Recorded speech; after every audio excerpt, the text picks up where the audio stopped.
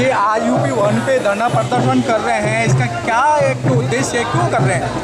देखिए उद्देश्य हमारा साफ़ है कि कि उत्तर प्रदेश का जो मॉडल है जी।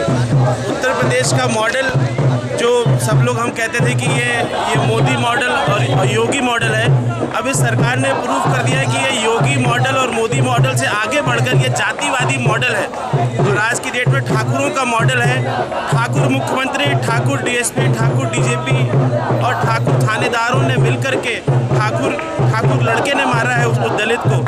आज की डेट में ठाकुर राज चल रहा है उत्तर प्रदेश में और जातिवाद अपने चरम पर है।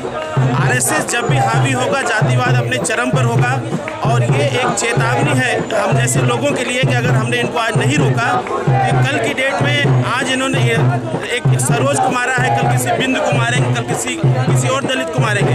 ये असली मॉडल है जो आरएसएस इस देश में लेके आना चाहती है।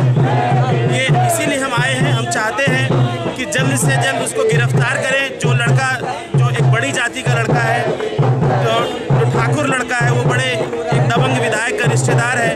हम उसको मांग करना है कि उसको गिरफ़्तार करें। एस सी एक्ट में सारे केस रजिस्टर्ड हों। और कंपनसेशन मिले और आइंदा ऐसे, ऐसा कोई बर्ताव ना हो उत्तर प्रदेश में, नहीं तो योगी को मुँह की खानी पड़ेगी दलित समाज से। इसी के लिए हम आए यहाँ पर आज।